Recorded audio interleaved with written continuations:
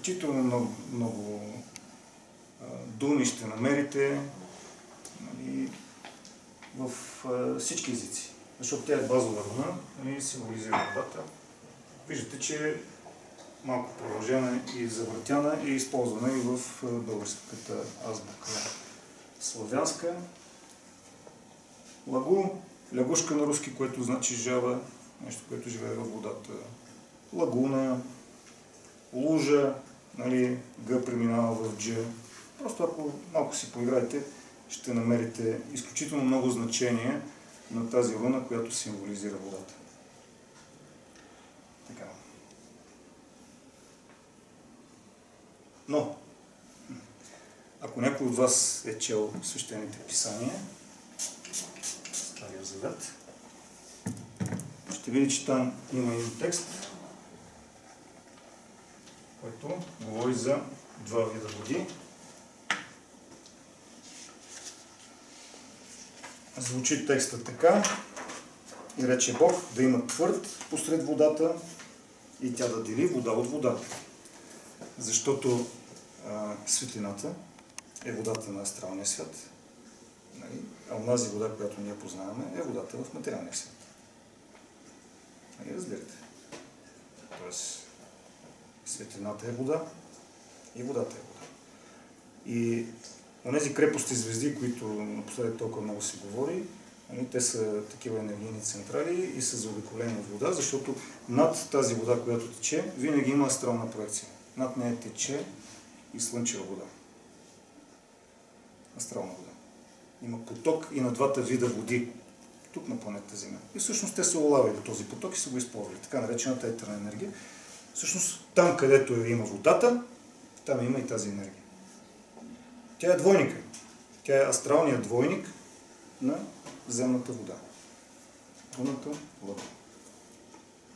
Какво казва учителя? Буквата L е една преходна връзка с умствения свят. Тази буква означава планински връх, под който има извор.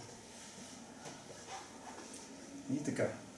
В древната митологична традиция Лю, нали, Л, в македонски език е останала тази Л и се пише така, меката Л. Нали, и ако сложим тук едно Л, ще получим дракон, нали, в стария език Лу или Лю, което значи дракон. Лютеция, старото име на Париж, значи града на дракона. Лю, нали, лее се, но се лее онази огнената река. Лее се онази другата вода. И оттам идва думата лют, нали, огнен, горещ, защото нали, от устата на дракона излиза огън. И от устата на българския лъв също излиза огън, защото той не е лъв, а е дракон. Нали, и няма лъвове с три пръста. Нали, и в хералдиката нещата стават изключително интересни. Нашия език е много древен и съдържа в себе си много тайни.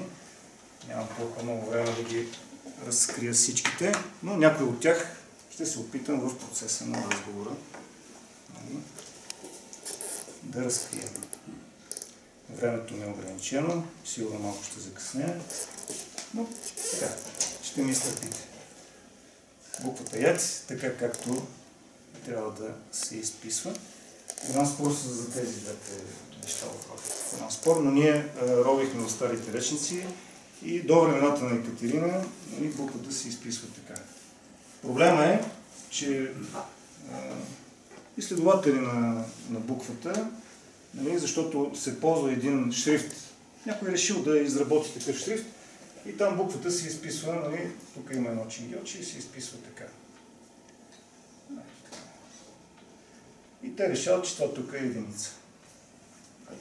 И казват какъв е този дуализъм, какви са те рога. И се започва един страшен спор, нали, просто от, от, на празно място от никъде. Но това просто печатаря е решил, че ще има такъв шрифт. Ние доста ровихме. Даже старата буква тя се изписва с много такова голямо тук нагоре така и тук винаги е ето така.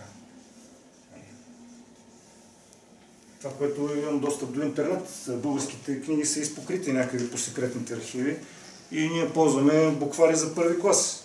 Значи ние нямаме книги от нашата традиция, в които да е разказано как се е формирал нашия език, как се е формирала нашата писменост. Нали? Ние имаме буквари. Ние всички с вас сме в първи клас. Така и за първи клас доста, доста неща сме успели да, да измъкнем от, от информацията. Нали? Представете си да минем във втори нали? или в трети клас какво ще се случи. Когато ние българите влезем в трети клас от нашата древна наука. Нали? Сега сме в първи и така доста неща сме разузнали. Даже предучилищно. Така. Виждаме тук отново буквата И се проявява. Защо сега ще наблегна? Защото тук а, е важно как духовната традиция българите имаме преди светите брати Кирил и Методий една няколко хилядолетна духовна традиция. Нали така? И тази духовна традиция е вградена в този символ. Тук е на буквата И. След това виждаме този символ. Нали? И след това ще преминем към ето това. Нали са познатите елементи?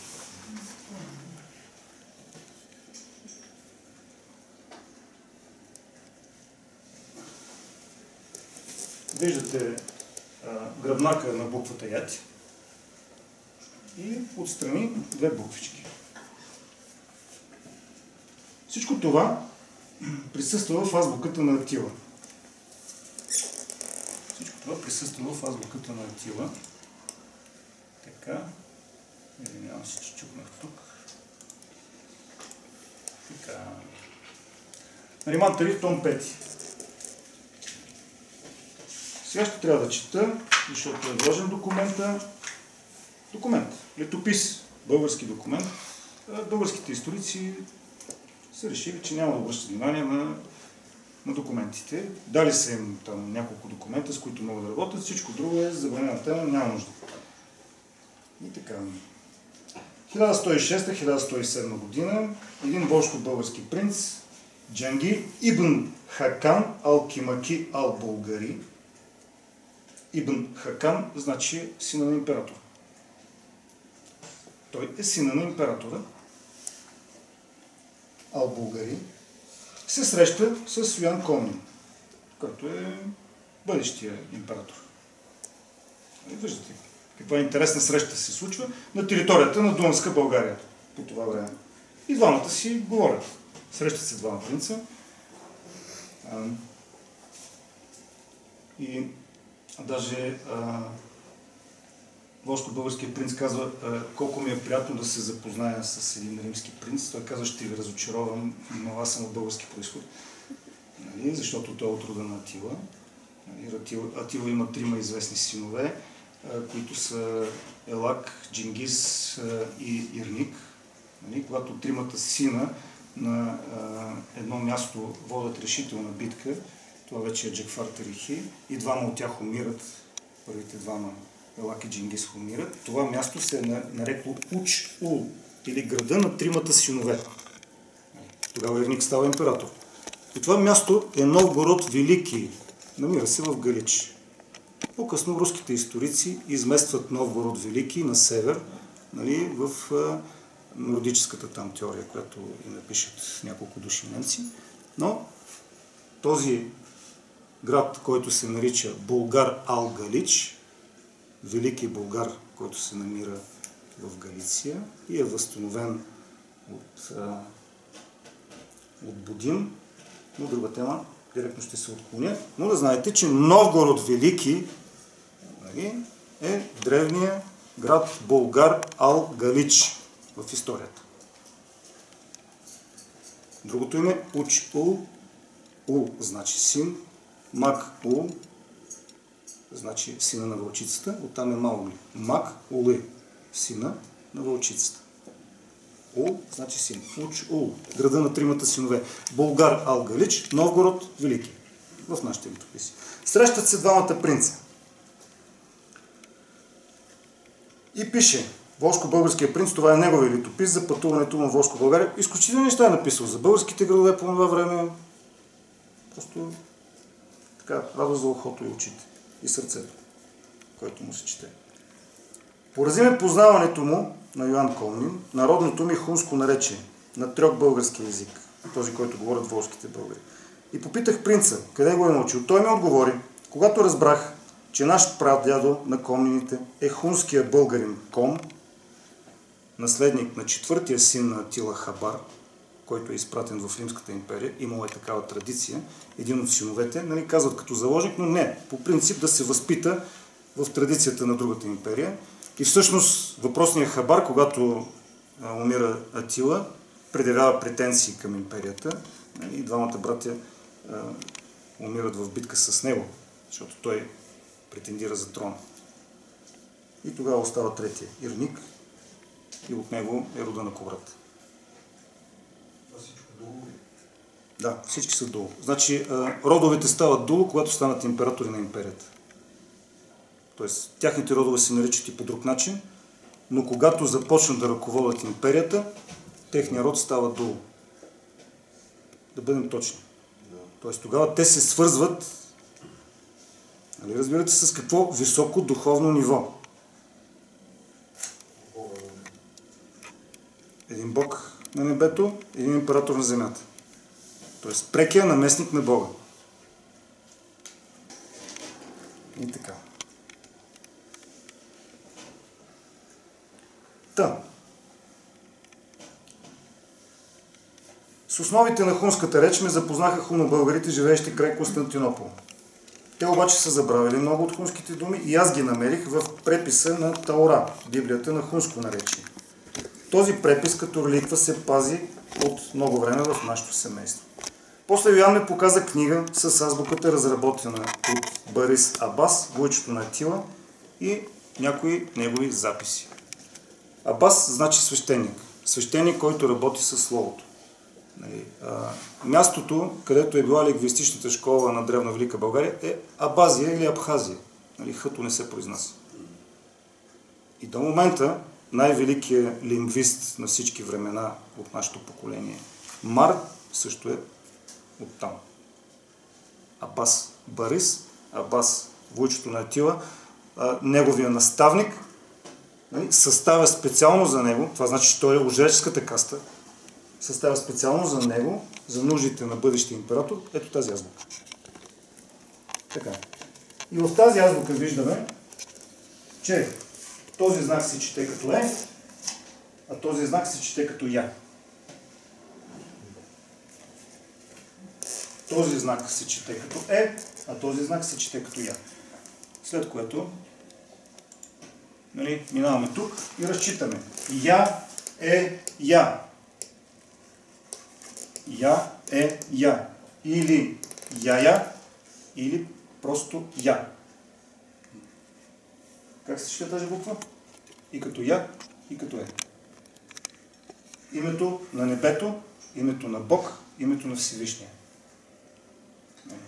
Тези три иронически знака ами, а, са влезли в съзнанието на българите като символ на рода долу. Но всъщност това е името на небето, името на Тангра, името на Всевишния.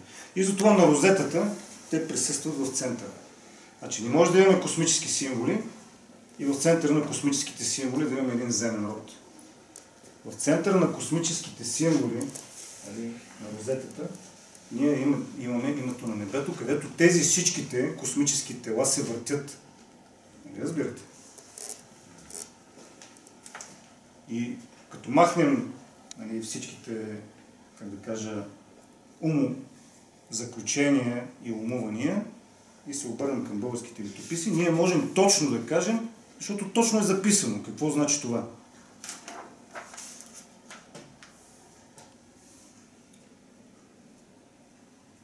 Не всички думи се произнасят така, както се четат. Цитирам автора на пътеписа. Например, думата, ето тази, се чете като я е я или като я я, но се произнася и като я, т.е. небе, Бог всемогъщия.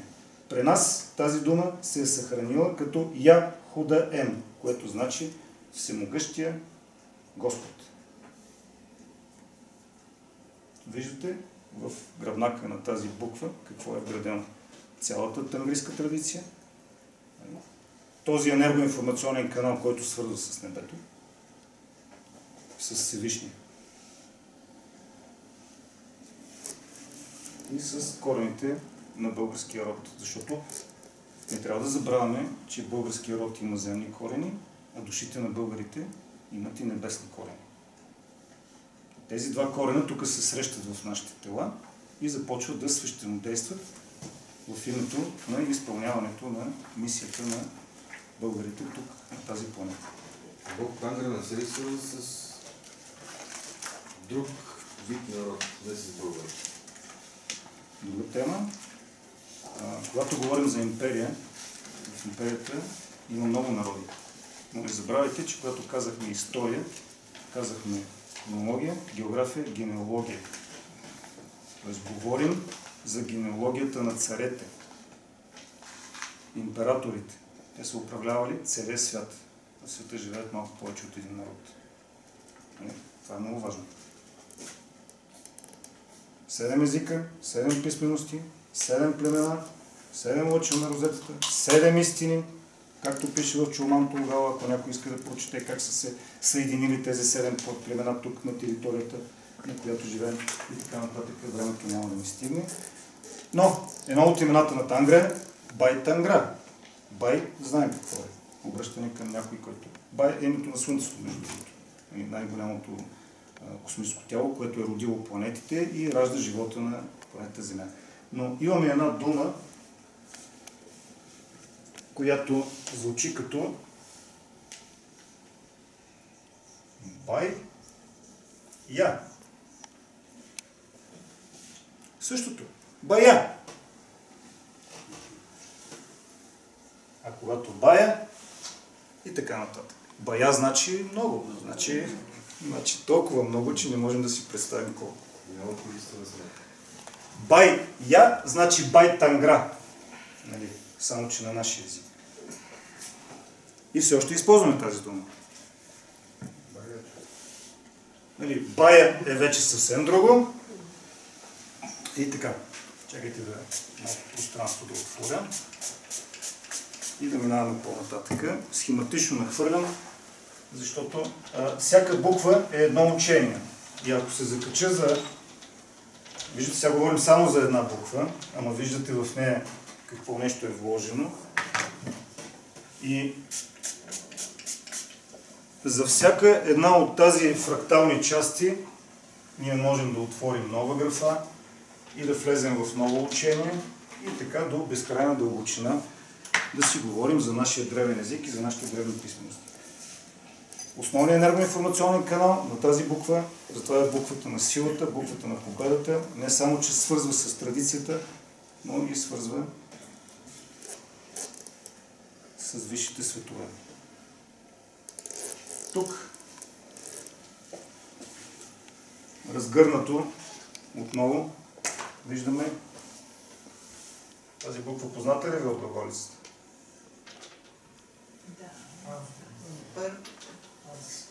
Азът на българите.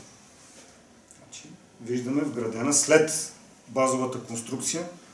Следващото нещо, което е вградено, е азът на българите.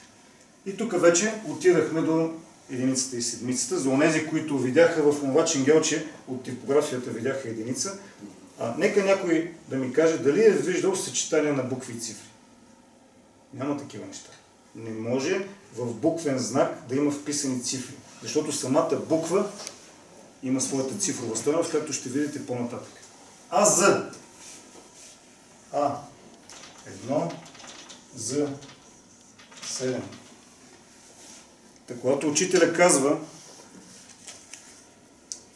когато учителя казва за тази прословута седмица, е хубаво хората, които искат нали, да разсъждават на тази тема, какво казва учителя.